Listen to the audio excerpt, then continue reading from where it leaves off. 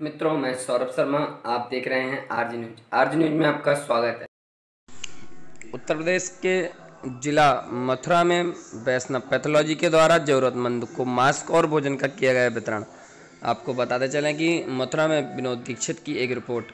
ब्रज यातायात एवं पर्यावरण जन जागरूकता समिति Uttar Pradesh restaurant Vaishnav pathology lab के संयुक्त तत्वाधान में दिल्ली से अपने गंतव्य तथा मथुरा बॉर्डर की सीमा से नेशनल हाईवे नंबर दो मथुरा पर अपने परिवार के साथ पैदल ही निकलने की सूचना से जरूरतमंद लोगों को मास्क एवं भोजन वितरण किया गया। साथ ही उन लोगों को मास्क जागरूक करते हुए ब्रज यातायात एवं पर्यावरण जन जागरूक समिति के प्रदेश संरक्षक बलदेव विधायक पूर्ण प्रकाश कहा, लोग समझे कि लॉकडाउन उनकी भलाई के लिए किया गया है। लोग सहयोग करें, घर से बाहर ना निकलें।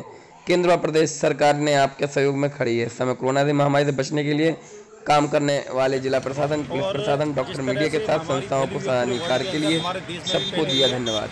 और इसी को लेके पिछले काफ़ी समय से हम लोग जागरूकता के कार्यक्रम कर रहे हैं और उसी के अंतर्गत आज हम लोग नरौली चौराहे पे हैं और उसके अंतर्गत हम लोगों ने दो तरह के कार्यक्रम रखे हैं यहाँ पे।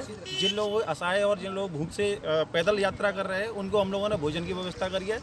साथ ही मास्क ऐसे मास्क बांटे गए हैं जिसके अंदर में आपका सैनिटाइज है और इसको अ, लोगों को जागरूक इसलिए कर रहे हैं हम लोग कि लोग ज़्यादातर देखा गया है कि रोड पे पैदल दिल्ली से पता नहीं एमपी जा रहे हैं, कोई उत्तर प्रदेश की सीमाओं पे आगे तक जा रहा है, वो ऐसा ना जाए। इसके लिए हम लोगों ने प्रयास किया था, प्रशासन को भी बोला था और उन्होंने भी रैन बसेरा बनाए हैं और उसमें हम लोग जगह जगह जहाँ पे भी हम लोगों को इस तरह के लोग मिल रहे हैं, उनको भी बता रहे हैं।